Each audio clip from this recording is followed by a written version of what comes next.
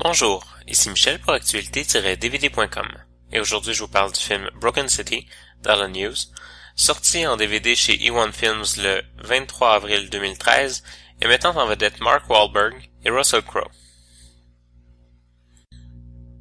Un policier démis de ses fonctions, devenu détective privé, est engagé par le maire de New York pour enquêter sur la possible aventure que sa femme entretient, alors que les élections approchent à grands pas.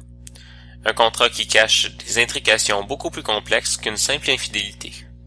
Bien que Broken City ne soit pas une révolution dans le genre, on ne peut nier qu'il s'agit d'un assez bon thriller politique dans lequel on ajoute quelques scènes d'action, ainsi que des préoccupations contemporaines assez bien amenées.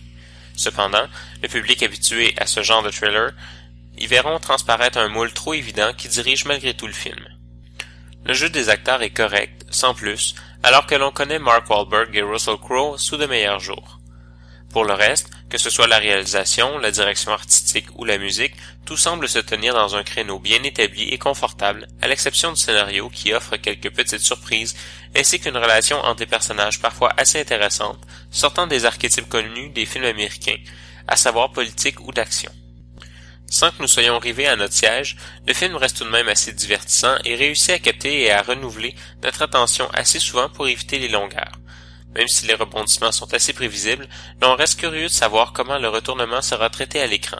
Dans les premières minutes du film, on se laisse cependant convaincre que Broken City est ce film à l'américaine que l'on a vu des dizaines de fois, mélangeant politique et action en coulisses. Ce qu'on peut dire ici, c'est que ce thriller applique aussi certains codes et utilise certains archétypes du film noir, sans les exploiter complètement, juste assez pour qu'un œil habitué les reconnaisse. Le film est présenté en format d'image 2.35 en anglais et français Dolby Digital 5.1 avec les sous-titres en anglais. Dans les suppléments, on retrouve des scènes retirées, un documentaire derrière la caméra et la bande-annonce originale du film. En conclusion, je dirais que Broken City est un film assez facile d'approche, un peu trop parfois, mais qui réussit à faire entrer quelques éléments plus audacieux à travers ce confort bien installé. Sans confronter le spectateur, ces éléments semblent plutôt vouloir s'insinuer subtilement à l'intérieur du genre familier pour les intégrer dans ce qui est, disons, acceptable dans le film commercial hollywoodien. C'était Michel, je vous remercie et bon visionnement.